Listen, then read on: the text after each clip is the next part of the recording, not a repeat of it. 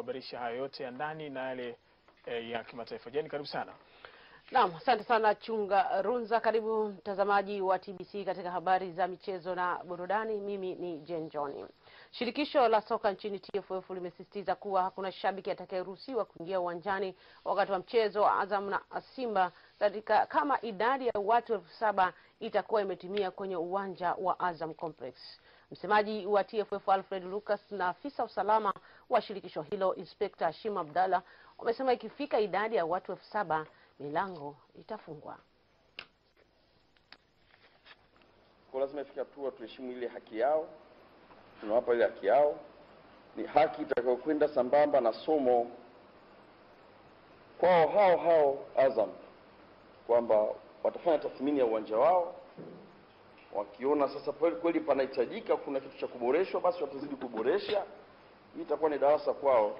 idadi ya wanaoingia uwanja ule wanafahamika. Kwa hiyo itakapofika, basi sisi tutaufunga ule uwanja na ulinzi utakuwa mkubwa. Nafikiri tutakuwa na mbwa wa kutosha, tutakuwa na askari field force, wataanza mwanzo mpaka mwisho. Nguvu kubwa tutaiweka nje, kwa kuamini idadi ya ndani tuna uwezo wa kuihendo, lakini nje tutaimarisha ulinzi mkubwa.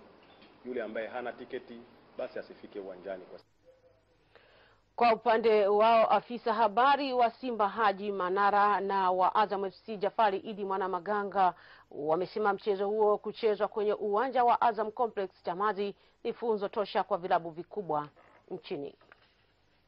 ni kubwa maradufu ya Azam. Kwa hiyo tukizitumia effectively brand zetu Simba na Yanga zitakuwa level yake ni ni juu kabisa. Azam itakuwa ni timu ambayo iko chini sana. Nadhani hiyo ni challenges kwetu na tutaitumia. kila mmoja anaingia uwanjani anatafuta pointi tatu. Pointi tatu unazipata vipi? Pointi tatu unazipata endapo timu yako umejiandaa vizuri, uko vizuri kisaikolojia kwa wachezaji, motivation ya wachezaji iko juu. Kwa hiyo sisi tunatumaini kabisa kwamba kwa jinsi mwalimu alivyoandaa timu tutakuwa tuko vizuri na tuko tayari kupambana katika ardhi yetu ya nyumbani kwa maana ya Azam Complex kuhakikisha kwamba tunacheza na tunapata pointi tatu.